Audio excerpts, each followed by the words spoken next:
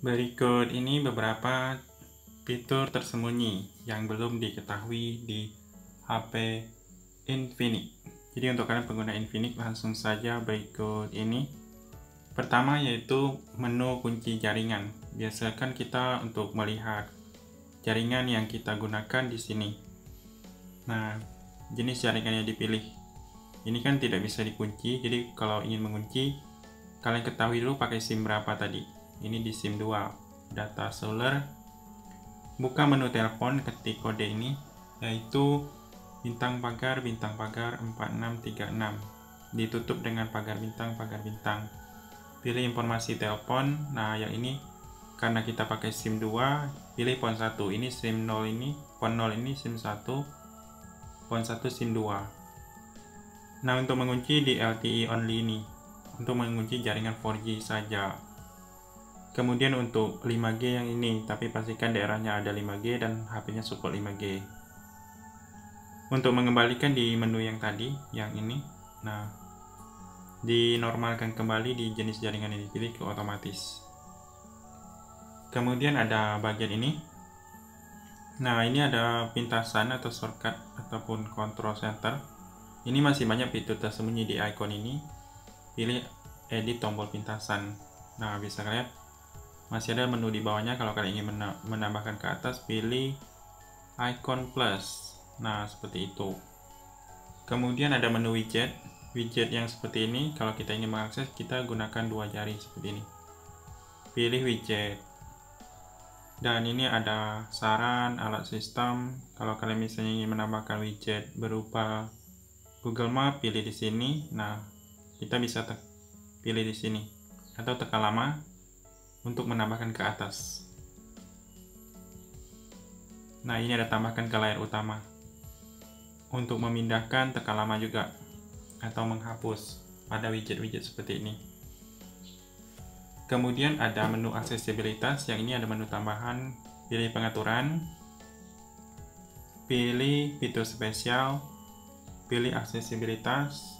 Nah, di sini ada menu aksesibilitas, kalian aktifkan di sini pilih izinkan. Nah ini ada satu menu muncul. Nah untuk mematikan daya kemudian untuk screenshot dan lain-lain. Ini ada pengaturannya mau kita atur seperti apa tapi seperti ini sudah bisa. Kemudian setelah itu ada video wajah cantik kalau kalian ada menginstal WhatsApp di bagian ini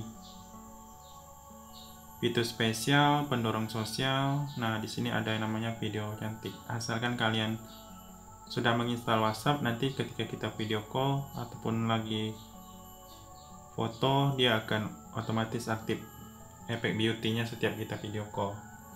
Kemudian selanjutnya fitur untuk X hide. Jadi X hide itu kalau kita ingin mengakses di sini di bagian pengelola file, kemudian pilih browser yang ada di sebelah bawah Nah, di sini ada X height. Kalian setting dulu yang namanya kata sandi kalau baru pertama kali. Dia fungsinya untuk menyembunyikan gambar, video, rekaman, dokumen, dan aplikasi.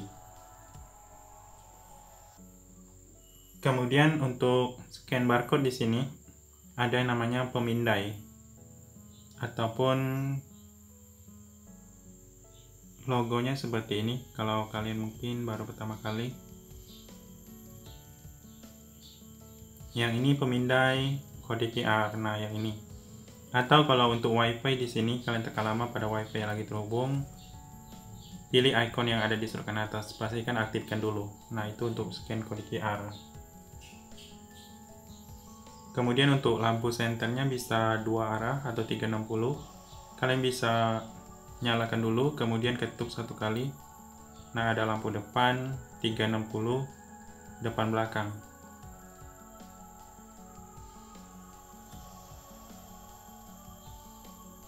Jadi kalau kita ingin mengaktifkan center ini tadi,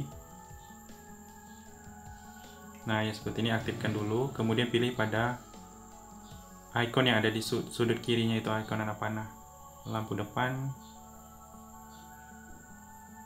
belakang. Kemudian ada menu rahasia lagi yang terakhir yaitu buka menu telepon, ketik bintang pagar 90 pagar. Nah, ini menu untuk ngetes semua hardware-nya ataupun sensor di sini.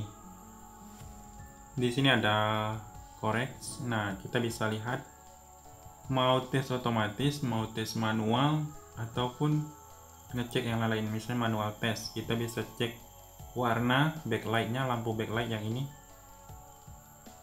Nah, seperti itu. kemudian untuk tes sentuhan OTG dan lain-lain ini untuk keluar. Itu saja semoga bermanfaat